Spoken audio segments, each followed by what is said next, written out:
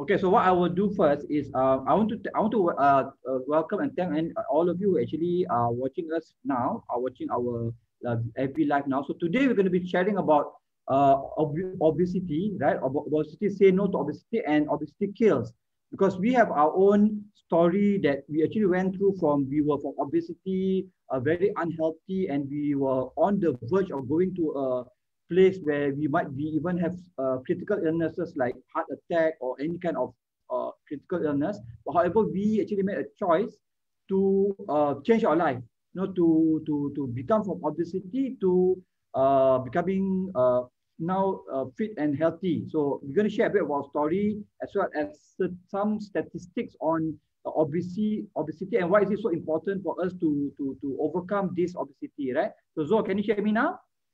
I can hear, but I couldn't get on the watch party. Okay, I cannot see your, I cannot see your, this one, no, I cannot see your photo. Ah, I need to see, okay, you're there, right? So, okay, now what I'm going to do is, I'm going to show you a photo of us from being obese, uh, obese to now, where we are now. So I'm going to put a photo, then Zol will start sharing a story about uh, his journey from obesity to where he is now. You'll be amazed at the photo. Hold on, let me share the photo first. Okay, uh, this is the photo. So, okay, uh, wait, let me just change to the first part. Okay, uh, this is our story. Uh, Zol, you want to share your story from when you started from being obese, as you can see on the photo on the left, uh, started in January. You want to share your story first? Okay, Assalamualaikum everybody. Good, good, uh, good afternoon, I would say it's almost afternoon. Okay, I'm Joey here. Okay, uh, actually a year ago, uh, I was obese. In obese stage one, I, I weigh about 110 kilos.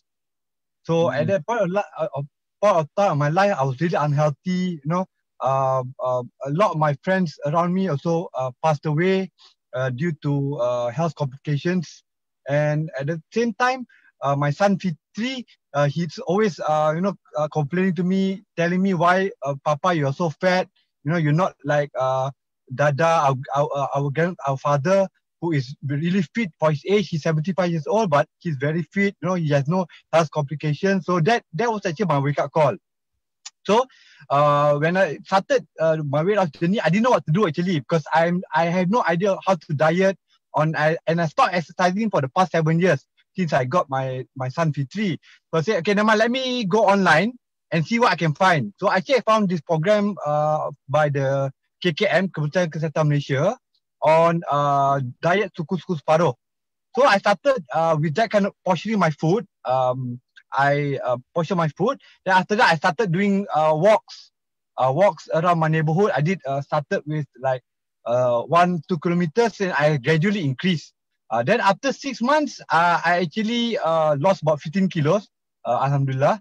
Uh, but after I plateaued for two months, uh, because the reason being is because my uh, I still my uh, my body is adapted to my workout routine and so my food. Hmm. Uh, so what I did was I went online again on FB and I found another program on uh, uh anti from anti fitness. Uh, it's a six week challenge uh, for us to actually uh, lose weight and lose body fat. So I I entered that program uh, for six weeks and actually I'm like I won that program. I lost about six kilos and five percent body fat. Uh, but at that point in time, I still had a tummy. My visceral fat was still high, but I didn't know I didn't know it was called visceral fat at that time. So at the same time, uh, I was looking for uh, alternate uh, uh, after uh, finishing the program. I was looking for alternatives uh, how I can further you know my journey, my weight loss journey, and to lose my visceral fat. So uh, at the same time, uh, I met out with a friend, my old friend Roshan. Uh, he actually shared me this program, um, this uh, six uh, optimal health program. Uh, so mm. I looked at it and I saw, okay, uh, it's really a program which controls our food intake, in order for us to burn our uh, fat uh, to reduce our fat in our uh, fat in our body. So Alhamdulillah, I started the program and I actually finished about my first cycle, which is six weeks, and I lost about uh, five kilos to that program. Yeah. Amazing. Okay, yeah, continue. Uh, okay, then after that, uh, I'm actually I'm still on my uh, my second cycle uh, I'm started my second cycle. Now I want to get my statistic, vital statistic to all to normal level. Uh, so far I've already uh, uh, um, you know I've uh, gone get my I got my BMI uh, and my weight to uh, my ideal weight. but my visceral fat, you know, and my total body fat is still at uh, uh not a normal level. So that's my goal actually. Yeah. Okay.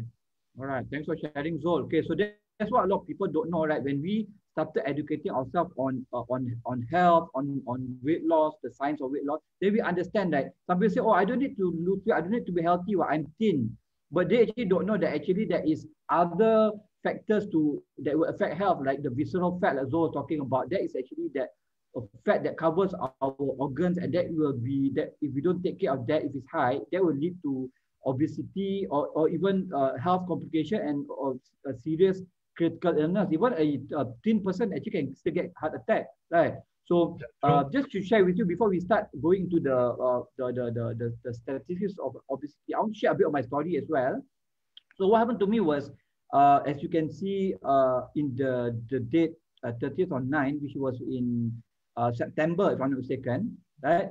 So what happened was uh, I I was uh, that time MCO lock the first lockdown was in Jan in March in Malaysia, right? And then after that, about it was for about six months. And that time I couldn't uh, exercise. I was at home. Uh, I, I ate a lot because my wife cooked very good food, you know. So we ate uh, good. We had nothing else to do, so we we enjoyed ourselves by eating good food and all that, lah. You know. So what happened was, uh, at in that six months, I actually put about six, uh, five to six kg but not only that, uh, that six extras, five to six years was affecting my health quite quite uh, seriously. Like I started having uh, heart palpitations, uh, body aches, and then extreme uh, fatigue uh, and tiredness. I couldn't work uh, a certain, uh, I couldn't work my usual normal hours. After a certain amount of day, I'll be flat. I will be flat. I couldn't work. So it was, was really affecting uh, my health. And not only that, in that period of the two months, uh, six months period, I found that two of my friends actually uh, uh, died of heart attack. So then I was telling myself, I said, if I don't do something, I said I might be, you know, one of those that kind of statistics of people. You know? So I told myself, it's like every I know that every one of us die. We have our time and we're gonna die eventually, but I want to choose uh, uh, to live my life in the best possible way and not uh, uh, die in that in that way, lah. You know, so that I thought I was praying for a solution, and then I happened to one day I was looking at my FB feed, I, I, I saw my brother's post, you know, like he was sharing his story about how he lost uh, from January to August, how he lost about 30 over kg. So that I was so inspired. I said, okay, uh, I directly I DM I DM him and I said, Zol, I really need help to, to lose weight uh, because it's affecting my health. So Zol said, okay, Nama, let's meet up. Uh, he's very, he was excited. He said, let me introduce you to our, uh, my health and weight loss coaches and he will help you, he will show you uh, uh, amazing plan that will actually help you to actually lose weight and not only that but be healthy so he invited me to his house he cooked his healthy food uh, for me that i met uh, our uh, health and weight loss coaches uh, edgar and may and they shared this health point six week program so i was amazed because the program is very uh, from many of the uh, weight loss or health programs I've been before, it's very detailed and very scientific. That means it tells you exactly step by step on how you need to be healthy and also to lose weight. And that six week, you actually have your own meal plan and using real food, no gimmicks, no starvation, no uh, meal replacement. It's all using very natural ways. I, and I, I can I can relate to that. I want to be healthy. I don't want to be uh, losing weight, but I look haggard. I look uh, unhealthy. You know, because I've seen people who lose a lot of weight, but they, they are not healthy. So uh, Alhamdulillah, after I uh, joined the program, as you can see on the 30th, uh, 30th of January, my before photo. I was fat. You know, I can see if I stand up, you can see my my my, my stomach actually coming out. You know, so then after six weeks of the program, uh, or 29 or the 10, I actually lost uh this the the, the, day that we were in the last day, and I was I lost a lot of weight. a lot more than four kg, uh, plus three, two point something visceral fat, uh, two plus visceral fat, and then as you can see my my my I you cannot see my my belly anymore. I still have a belly if I take out my shirt, but at least you cannot see that stomach uh, protruding out. You know? So I was very happy. I was very, uh, uh, very grateful. Then I said, okay, what I'm going to do now is I'm going to pay forward to educate and help as many people as well who are facing the same challenges, who are obese and because of the MCO or because of the lifestyle choices. And I want to work with my brother Zol to actually educate as, as many people to actually help them to lose weight and be not just lose weight, but be healthy, be in the optimal health. Because once you have optimal health, like we are on the way now. We, we feel so good. You know, we are we feel healthy. We are we are uh, you know we feel that we are living our life to, to the fullest. You know, you have, and my confidence actually when the when I was obese, my confidence went down. Now because I lost weight, my confidence is high, you know. So now we are starting to educate our circle, like our family members, our friends, you know, and then my wife usually joined the 60 programs and uh, Zoe's wife also joined the 60 programs. So I'm very happy, right? So uh, I want to share with you the next slide, right? Uh, it's about, it's a, it's a, was, it was a very sad news uh, the last few days uh, where we, we uh, it was the last few days where we um, we heard about the passing of Diego Maradona. He's a, he was a legend uh, in in football. Uh, this actually my brother posted this post uh, uh, uh, about how he actually died of heart attack. You know, so we it's very sad. Uh, I was very sad to hear it because this is the this story. Uh, he wrote. Okay, let me read this. Right, sad to see a legend, Diego Maradona, uh, uh, who was once. Uh, let me see. My brother can enter because uh, he actually got uh, actually get uh, so I'm going to enter my brother again. Okay, so let's again, again, you you actually accidentally got uh went out. Yeah. Yeah, sorry, I got cut off. Yeah. Okay, no worries. I'm I'm sharing. Sorry about uh Diego Maradona. How we actually heard uh, this very sad news about his passing uh, last in the last few days. So we were like, I I saw this, but actually this one my my brother wrote this, so I just read it out to you guys. Right. Uh, sad to see uh, legend Diego Maradona, who's once the greatest football and athlete, uh, passed away today due to heart attack. He was 60 years old. May he rest, uh, rest peacefully. As a health and wellness advocate, I cannot stress enough the importance of living a healthy lifestyle. Do not let obesity be cause of death. Make the decision to change uh, today and pass on gracefully without health complication, complications. Yeah, so this was very sad because a lot of athletes, right? Maybe Zoe will add on later. They are in their head, in their prime or their optimal. They, when they're athlete, they're very healthy because they're very active they're very uh, they're very fit. But the moment they have finished their career as an athlete, they start putting on weight and start having health complications. Because one of the things that I feel why is they're not educated in a proper balanced diet, meals. They don't uh, they're not educated in the proper health, you know, health sciences. So that's why we when we learn about all this, that's why we actually now we understand uh, all these challenges. We might not be doctors or we might not be scientists, but we know the program was created by doctors and scientists, right? So uh, that's why now we are on the path of helping educating as many people as possible. So we don't go on that path. So, so do you want to add on to this, this uh, oh. photo of Jack Okay. Um. Yeah. The reason why I posted this was because I was at that, at that point of time during this World Cup. Uh, I was supporting Argentina actually, and he was my idol. Yeah. He was really my idol. So I I was really saddened by this news. Then I saw uh, no, I've been following him for a while, but then the latest feature that I showed here is he's really totally transformed himself from his former glory days, you know, uh, which is really sad because, um, uh, like mm. like we like Zay mentioned earlier, a lot of athletes uh, in their when they are you know active, they are playing football, you know, uh, they are mainly they, they maintain their weight mainly not due to food, and uh, not to controlling the food, but to exercise because they're active. So they burn a lot of fat. They have a calorie deficit. So they they burn more uh, calories than they consume. So they t- they maintain uh, at at the same weight, but they're not educated. As they mentioned, they're not educated in uh, what to eat, you know, the right proportions to eat, you know, and they're not educated uh, to have to eat healthily as a lifetime uh, lifetime thing. Uh, so they after what happened is um, after they finish their career, you know, as a footballer or as an athlete, you know, or even the actor and actresses, they finish their their their, their movie roles and all that, they start putting on weight. Uh, because they, you know, they they start eating, they go back to the old habits, you know, they start eating unhealthy food, you know, junk food, you know, and most of them they go into depression because they cannot relive their glory days and they start drinking. As you know, drinking uh, has a lot of sugar so the, the sugar actually will convert itself to fat and will lead to obesity. And for obesity, it will lead to a lot of health complications and to heart attack, uh, which is actually what happened to uh, Maradona. Yeah. Yeah, many other people, right? So I want to show you the next uh, statistic uh, on obesity. Uh, check inshallah. Eh? Okay, uh, so this is Malaysian on uh, on weight uh, and obesity is very is very uh, disturbing because he says here, right? Uh, the 2019 uh, Nation Health uh, Malaysian survey finding shows a rising trend in weight gain and that 50.1% of adults were obese, you know, uh, 30.4% overweight and 90% uh, 90.7% obese. So like uh, like we like to share. If I'm talking to a person, uh, either I'm obese or I'm overweight or he's overweight, uh, which is quite uh, what quite disturbing lah, you know. And then uh, then only not only affects uh, adults, but you also affect children. Uh, because the the survey also finds that 29.8% of children aged between 5 to 17 were obese. And now even children has uh, type uh, what type 1 diabetes. Uh, what was type 2 diabetes? You want to share about that a bit about that, about like children be affected by by diabetes, Zon?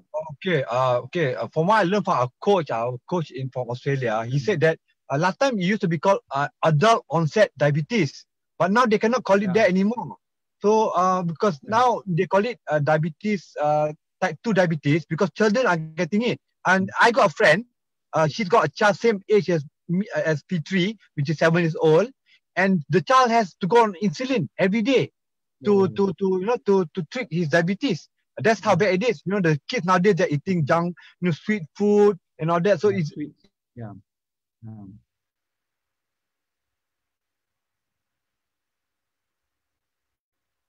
Healthy food. Mm. If we eat healthily, they will follow us. But if we are eat are eating healthy, unhealthy like junk food, you know, like we eat uh, our portions is too much, they'll follow us. Yeah.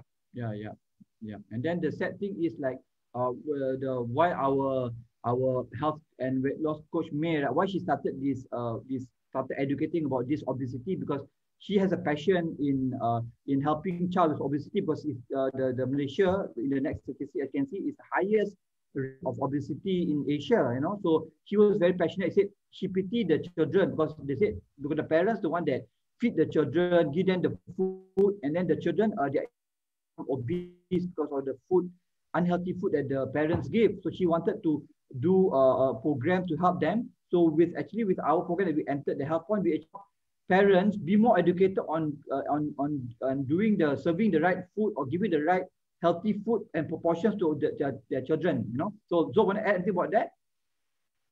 Um, yeah, like like like you mentioned, it's our role uh to educate our children. So what I do is mm. um, know, uh, as you guys know, I'm uh, a driver, so I drive around, but uh, I will I will make it deliberately make my my day so I come back for lunch and actually I'll cook for my children so they will be exposed to healthy food. So they don't like eat Maggi mee or uh, junk food. You know, they will uh, have uh, at least healthy daily meals. Yeah.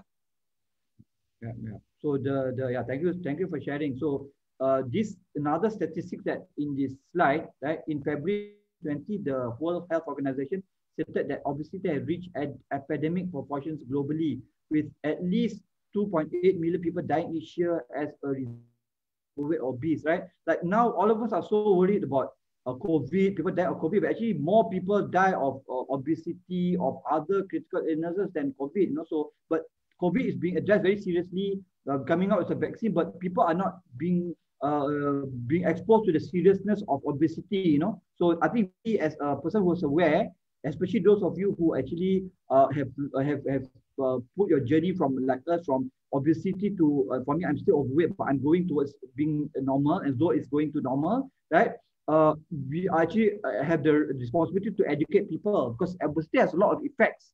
You know, like let me show you in the next slide. Uh, uh, it says that obesity could increase the risk of severe of severe COVID-19 infection by sevenfold. So those who are actually obese can actually get uh, uh, uh COVID-19. They are seven times more uh, uh, more uh, to get the COVID-19, you know, infection. And then there's also the the what we do in our program, we talk about we waste our we measure our waist, right? We measure our waist, and when you measure your waist, it will tell you whether you are on that path of uh, going to a chronic disease. Like for men, it's 94.90 uh, sorry 94 centimeters. Uh, if it's more than 94 centimeters, your waist, then is you are going uh, increases of uh, developing a chronic disease. For women, it's 90, uh, 80 centimeters right?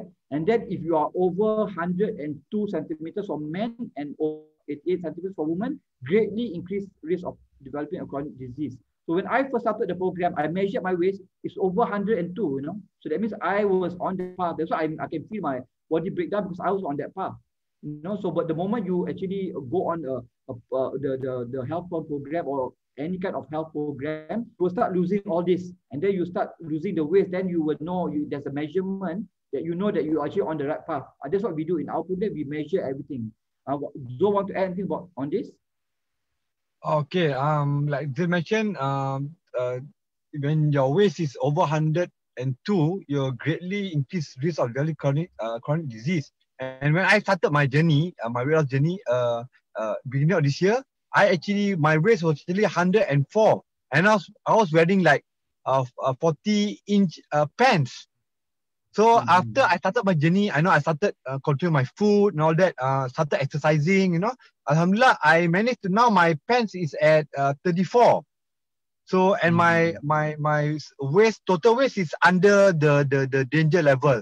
So okay. I've actually uh, uh, you know uh, managed to get my my my my my to to you know to to get to get away from that chronic disease uh zone you know yeah yeah yeah okay so okay. Thank you very much for sharing. Go to the next one. I just uh just briefly say childhood obesity if uh, one parent is overweight chance of child uh, child being obese is four times four to five times uh, more. If both parents are overweight the risk is 13 times more. That is quite serious right? 1.6 uh, 0.65 million Malaysian school children are expected to be overweight or obese by 2025.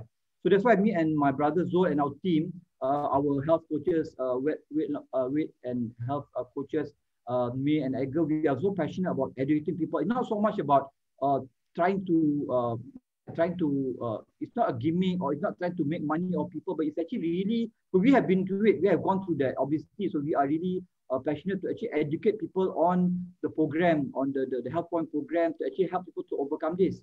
So uh, by next month, right, we actually uh, planning to uh, to, to do I just this idea just came to me. I think Zoe will like this idea that uh, it's a no say no to obesity campaign or, or live a fit and healthy campaign. So we educate people to become fit and healthy, and we do a challenge, a six week challenge on how you can bring yourself from obesity to uh, at least uh, uh, overweight first, you know, so at least you are out of that danger zone, you know. Uh, so that's what we are planning to do like, next month. So we will actually add, uh, we will uh, we will update you. Uh, we have a Facebook group where we're gonna uh, put in the link below later. And uh, to actually, if you're interested, you can actually join the Facebook and get updates on our program. So last, the last slide that I forgot to share just now is the effects of obesity on the body. As you can see here, a lot. All the major uh, critical illnesses and disease is actually uh, is uh, is uh, is uh, one of the, uh, the result of being obese, right? Uh, don't have to lead to everything, but you can see cancer, asthma, liver disease, gallbladder problems, type 2 diabetes, and many other kind of diseases. So for us, right, uh, we really want to educate people uh, to help them to overcome it. So we have been there before, and then uh, we want to all out to educate people. Uh, so Zol, any uh, maybe before we end the session, want to any last uh, words or advice to people out there who are they really they are and they're tired of being obese. They want to change their life. What would your advice be to them is? Okay, I would advise you guys. You know, I mean, I know a lot of people, even like me. Uh, when I started my journey, I was very yeah. shy. I was very shy. You know, I was very ashamed. You know, uh, to actually approach somebody who has actually achieved results, uh, to get similar results. I was ashamed. I was shy, but um, like um, like uh, you guys don't have to be shy. You know, it's some, it's a serious matter. It's not it's not uh, uh you know a, a, a laughing matter. Yeah, it's, it's you really have to take the first step. You know, take the first step. You know, by approaching somebody that can help you. Like we are more than willing to help you. You know, to help you achieve your health goals. You know, mm. now uh, we don't we don't really make much money from what we do, but uh, it's because of our passion. It's because of what yeah. we experience. Yeah. Like me, I was fortunate that I didn't get into hypertension or or you know I didn't get into diabetes because I will be have a family a, a, gen, a generation of diabetes you know family but I didn't get to that. I was lucky and I want you guys to have the same. Before you get your next wake up call you know you wake up in the hospital due to complications you really should avoid that by seeking help. That's my advice to you. Don't don't be shy to seek help you know uh, approach yeah approach uh, approach people that can actually help you yeah to to to to achieve uh, your optimal health yeah, yeah. Okay, okay. Thank you very much. Thank you very much, Zoe, for sharing. Okay, I also like to add in onto that, right? Because a lot of people we meet, right, when we share about this program, about how you can healthy, have optimal health, and also uh, uh, uh, had the benefits is good. But a lot of people say, oh, the common um, thing that we get is, oh, I cannot uh, uh, go of my favorite foods. You know, I love certain food, I cannot let go. You know, so uh, that in my mind, I said, okay, you're already at this stage. If you don't uh, let go your favorite food, right, then over time, then later you're going to get a wake up call. Either you are going to be hospitalized, and then you're going to be uh, having a lot of complications. Is it worth the risk, right, of going there just to just for the sake of uh, not foregoing your favorite foods? Like first, for us, we still eat our favorite foods, right? But there is a way to do it. There is a scientific way that we can actually uh, uh, we have proportions, we control our food, and like for us, we did the six the first cycle of six weeks. We really control our food, and we became we. Then we had one week break that we actually uh then we we, we came we say we, we have a we have a few days off to take our uh, to eat again our favorite foods. So it's not like we deprive our favorite foods or it's not a death sentence that you cannot eat anything we have a, a, a, a bit of leeway that we can, you know. So actually the program is actually very flexible. That I've like for me when I compare to other programs that I've done in the past, it's like uh, uh, dieting where you have to be hungry, you need to um, meal replace. It's even worse because you feel happy. But for us, we're happy because we are eating healthily, we are uh, in the optimal health, and we're snacking. We, we get to snack the whole day, but you, almost 11 times we're eating, you know, and but healthy foods uh, so it's not, we actually enjoying this journey. We're, that's why we are continuing to our second cycle. If it was uh, something that is terrible, uh, constantly un- not happy, we wouldn't have continued. We would have just give, given up and just uh, uh, throw in the towel. But we are still, we are going to the second cycle. And the good news is our students, they also went to the second, they started the second cycle as well. You know, so yeah, so that is the beauty of the program. It's actually a lot of fun. So I really encourage you guys to just have an open mind. Uh, later we will put the link in uh, of our Facebook group uh, uh below. And then if you are interested to know more about how you can be part of this six weeks program, this challenge, DM us personally as well. We can even uh, talk to you, meet you one to one. Or if you are outside our the CMCO range, we can do a Zoom call with you to, to educate you more what we are doing. Not totally no obligations. In the program, you're not required to sell anything. It's, it's about helping you achieve your uh, best version of yourself, your health, and your and your weight. You know, it's not about us trying to uh, make money off you. So you don't have to worry about that, right? That, that one we try to uh, uh the, all that misconception we put aside. Just now, let's focus on you, helping you to get back on your on track in your on your life, your health, and to overcome uh, to overcome obesity, so it does not lead you to uh, the sad statistic that we saw uh, just now. You know, yeah. So okay, with that, uh, Thank you very much, Zol, for joining me. Zol is doing great, but in the uh, but along but took the time to stop and actually to to to do this FB live. I'm very grateful. Thank you very much, Zol. So uh, continue to follow us on our uh, our group, our our FB page and group, and we look forward to share uh, to share with you uh, the next our next story in the future. Yeah. Okay. Thanks. Have a blessed yeah, and successful day, everyone. Take okay, care. See you. Okay. Let me stop this uh, FB live first.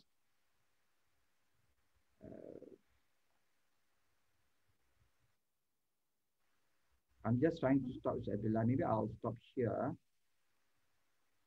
Um,